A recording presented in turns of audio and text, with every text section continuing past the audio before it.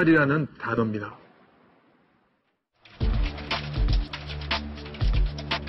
취재를 진행하면서 우리는 종말론자들의 공통점을 하나 발견했습니다. 이들은 다양한 매체로부터 수많은 정보를 수집하고 있다는 겁니다.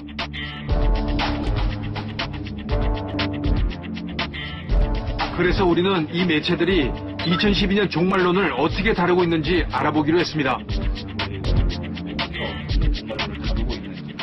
종말론과 함께 제 요시 지금 비슷한 이슈들이 뭐 종말 2012만 있는 거를 다 따로 분류해내는 거고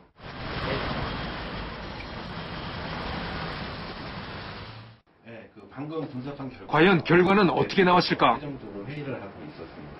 이제 종말론에 관련돼서 온라인에서 저희가 생각하는 이상으로 굉장히 큰 이슈가 되고 있는 것을 확인할 수가 있습니다. 다들 똑같은데요?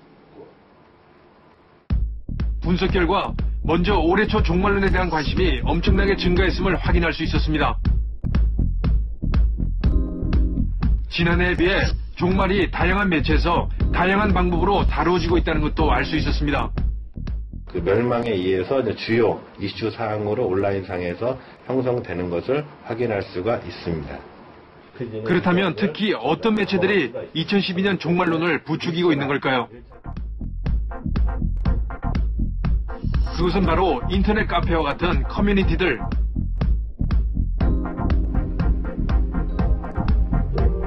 이곳에서 2012년 종말론은 대재앙, 마지막, 말세 등과 같은 부정적인 이미지들과 함께 퍼져나가고 있습니다.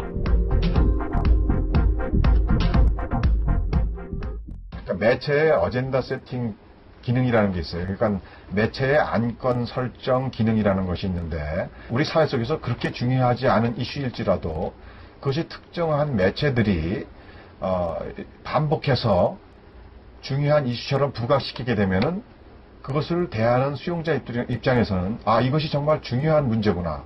지금 우리가 관심을 가져야 되는 문제구나라고 생각을 하게 된다는 얘기죠.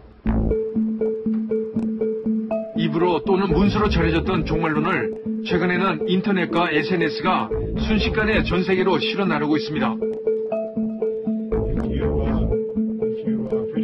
3년 전 미국에선 매체에 이런 파급 효과를 악용한 사례가 있습니다.